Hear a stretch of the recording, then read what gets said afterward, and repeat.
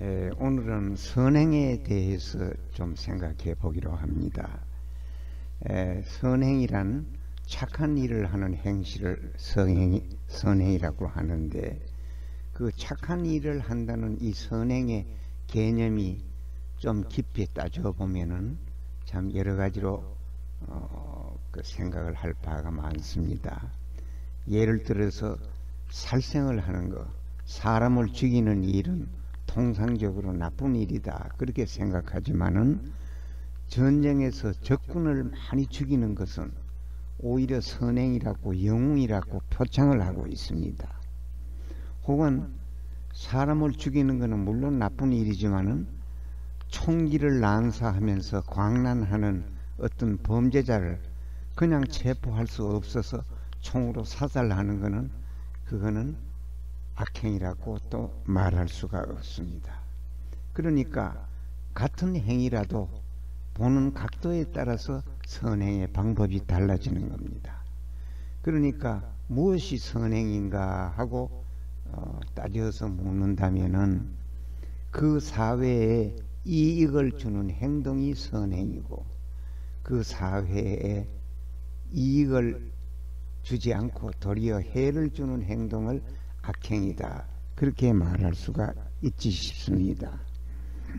에, 예를 들어서 한 가지 더 예를 들면은 에, 태평양 전쟁 시대에 일본 군인들은 군함이 침몰할 때 탈출하지 않고 그 군함과 운명을 같이 하면서 천황폐하 만세하면서 죽었습니다. 그렇게 죽는 것이 선행인지 나쁜 것인지는 그들만의 생각에 따라 다른 겁니다. 에, 우리들 생각이나 혹은 그 당시에 미군은 군인 군함이 침몰하면은 전부 보드를 타고 거기서 탈출해서 다시 그 인력이 전쟁에 재활용되었습니다. 그러나 미군들 입장에 보면은 군함과 같이 죽는 일본 병사들이 바보스럽고 그거는 틀림없는 악행이라고 생각을 하는데 죽어가는 그 사람들은 그것이 자기네들의 임금에 대한 충성이고 지상의 선행이라고 생각했는 때문에 죽음을 택했는 것입니다. 이와 같이 선행이니 악행이니 가는 것은 절대적인 기준이 없고 그 사회에 이익되는 행위를 주로 선행이다. 그렇게 우리는 얘기하고 있습니다. 그러면 옛날의 선원들은 이 선행에 대해서 어떤 교훈을 우리한테 남겼는지 한번 살펴보기로 합니다. 어, 키론이라 는 사람은 은인은 선행을 감추고 은혜를 입은 사람이 그것을 퍼뜨린다 하였습니다. 에, 내가 누구한테 무슨 돈을 좀 줘서 어, 선행을 했다든지 남이 가난한 것을 그 도와줘 가지고 선행을 했다 하면은 그 선행했는 사람이 자기의 선행을 드러내지 않고 감추는 것이 이것이 미덕입니다. 그러나 은혜를 입은 사람은 아, 그 사람은 그 사람이 내한테 이런 것을 도와줘서 고맙습니다 하고 그걸 드러내는 것이 원칙이다. 에, 그렇게 개론은 얘기를 했습니다. 에, 예수님도 오른손이 하는 일을 왼손이 모르도록 하라고 얘기를 했습니다. 그런 때문에 남에게 좋은 일을 좀에 해놓고 생색은 산만큼 내는 것은 그거는 바람직한 행동이 아니라고 생각합니다. 톨스토이의 말씀을 한번 들어봅니다. 그대의 선행에 대해서 눈에 보이는 보수를 구하지 말라. 선행은 조금 해놓고 보수는 크게 바라지 말라. 그 말입니다. 에, 다시 한번 더 읽어봅니다. 그대의 선행에 대해서 눈에 보이는 보수를 구하지 말라. 그것은 이미 그대 마음속에 충분히 받았다. 또한 그대가 저지른 악행의 보수는 눈에 보이지 않아도 그것이 없는 것이라고 생각하지 마라. 그것은 너의 영혼 속에 박혀 있다. 너의 영혼의 괴로움이 다른 데서 온, 온다고 생각하지 마라.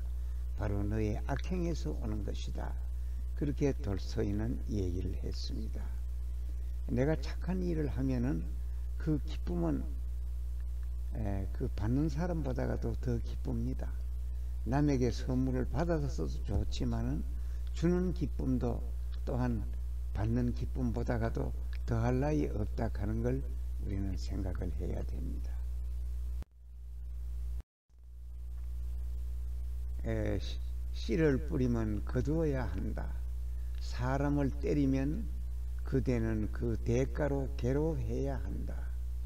사람에게 선을 베푸면 남도 그대에게 선으로 답하리라. 그대가 만일 평생 선을 행한다면 아무리 회피해도 그 보수는 반드시 그대에 돌아온다. 에, 우리가 옛날에 물리 시간에 배웠습니다. 작용이 있으면 반작용이 있다.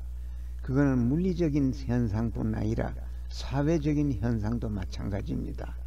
내가 남의 베푸면은 그 베푼 대가는 어디를 통해서도 반드시 내한테 돌아오기 바라 마련입니다.